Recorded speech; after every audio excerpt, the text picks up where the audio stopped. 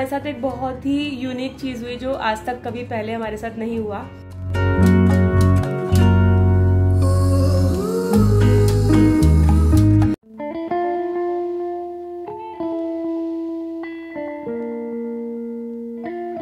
Hello everyone welcome back to my channel Shweta Gupta और आज मैं आई हुई हूँ दिल्ली अपनी सिस्टर के यहाँ पर। तो मेरी सिस्टर रहती है कमला नगर के पास और मुझे यहाँ पर एक बहुत ही इंपॉर्टेंट काम है। तो आपको बता देती हूँ मैं। मेरे जो ये जो ईयर लोब है तो आप देख सकते हैं इसमें जो ये पियर्सिंग है, छेद बहुत ज़्यादा बड़े हो गए हैं और ऑलमोस्ट मेरे कान बिल्कुल ऐसा लगता है जैसे कि कटने वाले हैं। जबकि मैं कोई हैवी इयर भी नहीं पहनती हूँ। तो ये छेद बहुत ज़्यादा बड़े हो गए हैं। यहाँ पर क्या करते हैं, इसका एक ट्रीटमेंट करते हैं, जिससे कि ये पूरा चिपक जाता है और उसके बाद आपको पियर्सिंग फिर से करवानी पड़ती है। तो कहते तो है कि बहुत अच्छा है और मैं बहुत दिन से सोच रही थी कि कराऊँगी तो इस बार मैं ये कराने आई हूँ और थोड़ा बहुत जो शॉपिंग करेंगे वो भी मैं आपको दिखा दूँगी।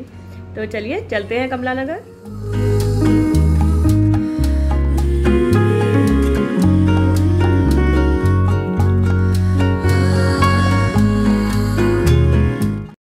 तो हम पहुँच गए हैं कमला नगर और कमला नगर में बड़े बड़े ब्रांड्स के बहुत सारे शोरूम्स हैं, जिन पर आपको मिल जाता है एक बहुत ही अच्छा कलेक्शन कपड़ों का, जूतों का एक्सेसरीज़ एंड वॉट नॉट और यहाँ पर एक बहुत बड़ा शोरूम है बिंदल्स का और बिंदल्स पर बेस्ट कलेक्शन है मतलब जितने भी बिंदल्स हैं, यहाँ का बिंदल्स मेरा फेवरेट है।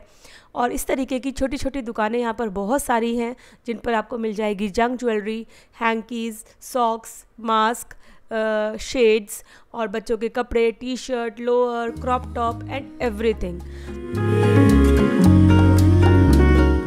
तो इन छोटी छोटी दुकानों पर रेट्स काफ़ी ठीक होते हैं। आप थोड़ा बहुत बार्गेन भी कर सकते हो और बहुत ही अच्छी डील्स आपको मिल जाती है। तो हमने यहाँ से लिए ये सिक्स पेयर ऑफ़ स्टड्स जो कि भैया ने हमें दिए हंड्रेड रुपीज़ में। उसके बाद ये छोटी छोटी सी रिंग्स थी जो कि गर्ल्स की बहुत ही फेवरेट होती हैं। तो मेरी बेटी ने ये दो रिंग्स ली। ये उन्होंने हमें थोड़ी सी महँगी दी वन सिक्सटी रुपीज़ में टू रिंग्स।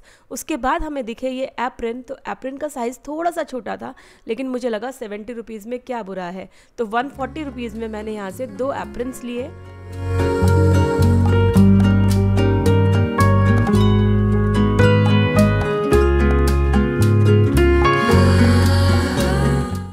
और उसके बाद हम बड़े आगे और मुझे दिख गई ये हैंकीज़ की शॉप, जिस पर बहुत ही सॉफ्ट फैब्रिक में बड़े ही सुंदर प्यारे प्यारे से हैंकीज़ थे। तो यहाँ से मैंने हैंकीज़ लिए, वो भी मुझे काफ़ी सस्ते में मिल गए।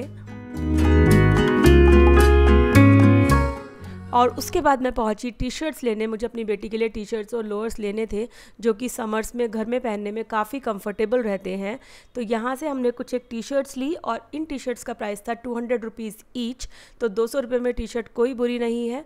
उसके बाद ये इस तरीके की शर्ट्स थी, जो कि टू फिफ्टी रुपीज़ ईच में भी थी थ्री फिफ्टी में भी थी, सबके अलग अलग प्राइजेस थे।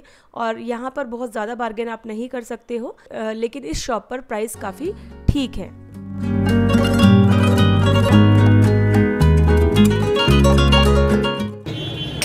प्राइस बताते जाना। ये थ्री फिफ्टी का है इसमें कलर मिलेंगे पाँच। ये भी थ्री फिफ्टी का इसमें मिलेगा कलर सात। सिंगल कलर है इसके अंदर। ये सब एक्सपोर्ट के पीस हैं। शॉप नंबर क्या है आपका? यहाँ पे? कमला नगर यूपी सैंतीस अड़तीस परदेसी अरे बहुत लंबा है। परदेसी गारमेंट्स हाँ परदेसी गारमेंट्स है। ठीक है। ये शर्ट है जी। प्लेन शर्ट डबल एक्सल में।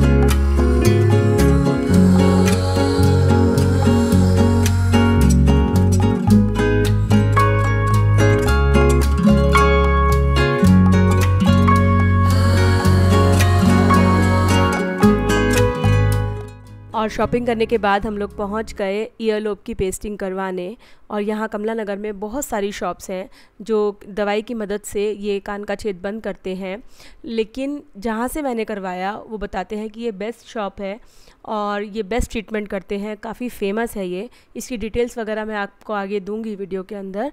तो यहाँ पर शूट करना अलाउड नहीं था। तो पेस्टिंग कराने के बाद हम लोग पहुँच गए स्ट्रीट फ़ूड खाने के लिए, क्योंकि भाई बाहर जाओ शॉपिंग करने जाओ और कुछ गोलगप्पे, कुछ चटपटा ना खाओ तो यार क्या फ़ायदा फिर जाने का, है ना?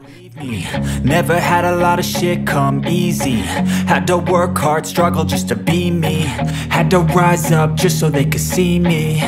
Did what I had to do just to feed me. And what was left वहाँ पर बहुत सारे छोटे छोटे बच्चे घूम रहे थे इस तरीके की बास्केट्स लेकर के जिसमें वो स्क्रंचीज़ क्लचर्स क्लिप्स वगैरह इस तरीके का छोटा छोटा सामान बेच रहे थे। तो मुझे लगता है कि ऐसे बच्चों से कुछ ना कुछ ले लेना चाहिए क्योंकि बेचारे मेहनत कर रहे हैं अपनी लिविंग को अर्न करने के लिए। और ये एक स्वीट कॉर्न का आउटलेट था, जिसके पास बहुत सारे वैरायटी के स्वीट कॉर्नस थे। तो मैंने उनसे पूछा, आपका बेस्ट सेलर क्या है? तो उन्होंने बताया, ये नाचो स्वीट कॉर्न उनका बहुत टेस्टी होता है। नाचोस वाला स्वीट कॉर्न ट्राई किया और और एक्चुअली ये बहुत ही ज़्यादा टेस्टी था, बहुत यमी था। काफ़ी डिफरेंट फ्लेवर था उसका। और एज़ यूजल मैंने उनसे इसकी रेसिपी भी पूछ ही डाली कि आपने इसमें क्या क्या डाला है। तो बहुत सारे इंग्रेडिएंट्स थे, बहुत सारा मसाला था। तो मैं ट्राई करूँगी घर पे इसको बनाना और ये बाटा के शोरूम के जस्ट सामने खड़े हुए थे और काफ़ी अच्छी वैरायटी इनके पास स्वीट कॉर्नस की थी। और उसके बाद हम पहुँच गए मंत्र के लिए कुछ एवरीडे वियर के कपड़े लेने। तो यहाँ से हमने टी शर्ट्स और शॉर्ट्स लिए। तो टी शर्ट्स का जो प्राइस था वो शायद टू हंड्रेड रुपीज़ पर टी शर्ट था और शॉर्ट था टू फिफ्टी रुपीज़ पर शॉर्ट तो फ़ोर फिफ्टी रुपीज़ में पूरा सेट एक बन गया था हमारा। तो चार पाँच सेट्स लिए यहाँ से मैंने। अगर आपको शॉपिंग हॉल देखना है तो आप मुझे कमेंट करके बताइएगा। मैं अलग से बना दूँगी कि मैंने यहाँ से क्या क्या लिया। और उसके बाद हम पहुँच गए घर। So hello every one I am back and मैं दिखाती हूँ आपको। तो उन्होंने ऐसे मेरे कान पे एक केमिकल जैसा लगाया था। और ये देखिए, यहाँ पर ऐसे टेप लगा दी है। तो वहाँ पर शूट करना अलाउड नहीं था, इसलिए मैं शूट नहीं कर पाई। तो उनके पास कुछ ऐसा केमिकल जैसी चीज़ थी, वो उन्होंने ऐसे लगा दी थी पूरे एयर लोब पे।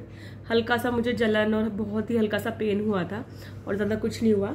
और उन्होंने बोला है कि ये टेप जो है ना ये मुझे कल उतार देनी है नहाने के बाद। मतलब एक दिन इसमें कुछ भी पानी वगैरह नहीं जाना चाहिए। और उसके बाद इसके ऊपर लगाना है सरसों का तेल। तो दिन में कम से कम आठ से दस बार सरसों का तेल लगाना है।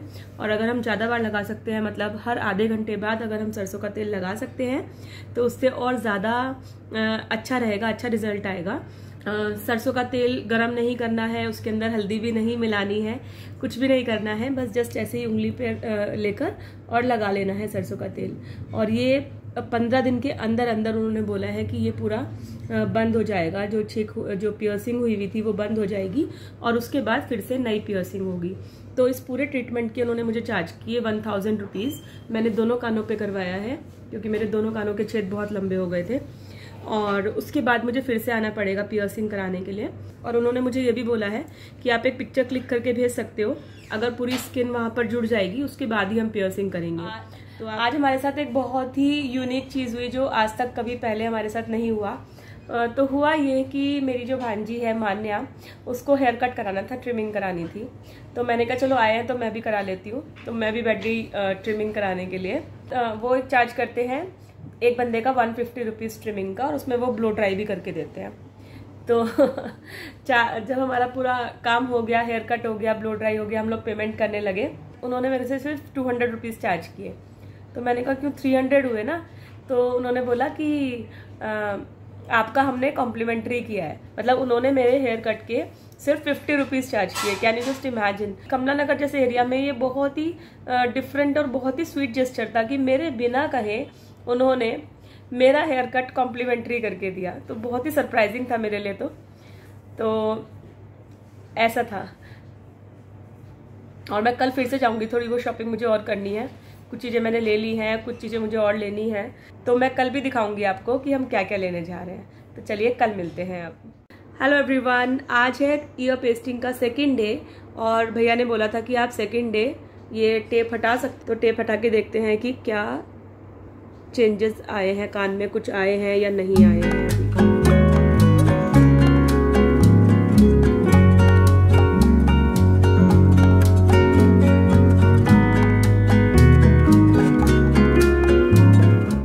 कॉटन लगी हुई है अंदर शायद।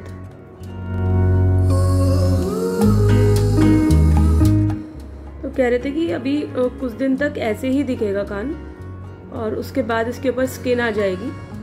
और उसके बाद फिर ये जुड़ जाएगा। अब मुझे इसके ऊपर सरसों का तेल लगाना है।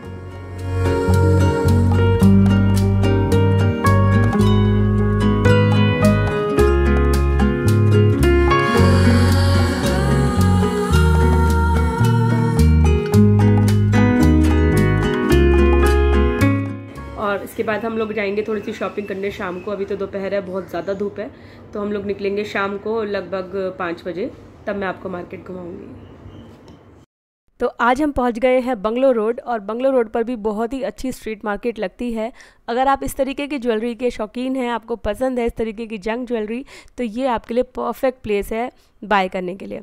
तो वहाँ पर बहुत ही अच्छा कलेक्शन आया हुआ था ज्वेलरी का। तो मैंने जैसे कंपेयर किया मेन कमला नगर में और बंगलो रोड में तो बंगलो रोड में ज़्यादा अच्छा कलेक्शन था जंग ज्वेलरी का और बहुत ही अच्छे अच्छे इयर रिंग्स स्टड्स हुप्स उनके पास थे।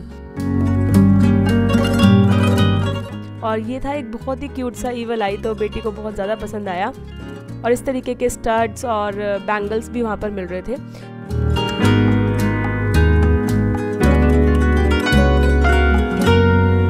प्लस आजकल इस तरीके के चोकर बहुत ज़्यादा ट्रेंड में हैं तो चोकर्स का भी उनके पास अच्छा खासा कलेक्शन था। यहाँ पर फिफ्टी रुपीज़ से लेकर के टू हंड्रेड रुपीज़ तक में आपको बहुत ही अच्छी जंग ज्वेलरी मिल जाएगी। और उसके बाद फिर से हम लोग पहुँच गए समर्स की शॉपिंग करने। तो हमने यहाँ से ट्राउज़र्स लिए क्रॉप टॉप्स लिए और पजामाज लिए। तो काफ़ी अच्छा कलेक्शन था क्रॉप टॉप्स का भी। तो टू हंड्रेड रुपीज़ ईच में बहुत ही अच्छे क्रॉप टॉप्स मिल रहे थे। टी शर्ट्स भी मिल रही थी two hundred two fifty rupees तक में। काफ़ी अच्छा कलेक्शन था। तो यहाँ से मैंने बहुत सारे क्रॉप टॉप्स लिए। तो ये आजकल बहुत ट्रेंड में है, साड़ी के साथ भी और हाई वेस्ट जीन्स के साथ भी बच्चों के ऊपर अच्छे लगते हैं। तो काफ़ी सारे हमने यहाँ से क्रॉप टॉप्स भी लिए और बहुत ही रीज़नेबल प्राइस में हमें मिल गए। हेलो एवरीवन आज है फिफ्थ डे ईयर पेस्टिंग का। सबसे पहले मैं आपको देती हूँ अपडेट तो ये देखिए आप, मेरी स्किन जो है, जुड़नी शुरू हो गई है। I am really happy to see this और इसके ऊपर एक पपड़ी सी आ गई है। और इस तरीके की जो ये पपड़ी आएगी ना, इसको निकालना नहीं है। इसके ऊपर हर आधे घंटे बाद या एक घंटे बाद सरसों का तेल लगाना है। तो मैं कैसे लगाती हूँ वो दिखाती हूँ आपको। तो सरसों का तेल मैंने ऐसे एक छोटी सी कटोरी में रखा हुआ है और मैं ऐसे एक ईयरबड में लेके अपने कान पर ऐसे लगा लेती हूँ, क्योंकि अगर हम बार बार फिंगर से लगाएँगे तो फिंगर चिकनी हो जाएगी। और शायद फिर मैं ना लगाऊँ इतनी बार जितनी बार मैं अब लगा रही हूँ। तो अच्छे से बस हमें यही केयर करनी है अपने कानों की, आगे, पीछे, दोनों तरफ़ सरसों का तेल लगाना है और विद इन फिफ्टीन डेज़ ये पूरा हील हो जाएगा और उसके बाद हम लोग जाएँगे पियर्सिंग कराने। तो अगर ये मेरा पूरी तरह से ठीक हो गया और पियर्सिंग मुझे सक्सेसफुल लगी तो उसके बाद मैं आपसे शॉप की पूरी details with phone number with address सब कुछ शेयर करूँगी। अभी के लिए मैं आपको सिर्फ़ इतना बता सकती हूँ कि आदर्श ईयर पियर्सिंग के नाम से है इनकी कमला नगर में शॉप और इनका ट्रीटमेंट जो है वो बेस्ट ट्रीटमेंट है। अगर आपको अपडेट चाहिए मेरे ईयर पर कि किस तरीके से ये हुआ है, क्या रिज़ल्ट मुझे मिला है तो मैं आपको बीच बीच में अपडेट देती रहूँगी। आप मेरे चैनल श्वेता गुप्ता को सब्सक्राइब कर लीजिएगा और बेल नोटिफिकेशन को ऑन करिएगा जिससे कि आपको सारे नोटिफिकेशंस मिलते रहें। कोई भी वीडियो आपसे मिस ना हो जाए, मैं बीच बीच में अपडेट करती रहूँगी आपको। और आज के लिए बस इतना ही। मैं मिलती हूँ आपसे एक नई और इंटरेस्टिंग वीडियो के साथ। तब तक के लिए बाय बाय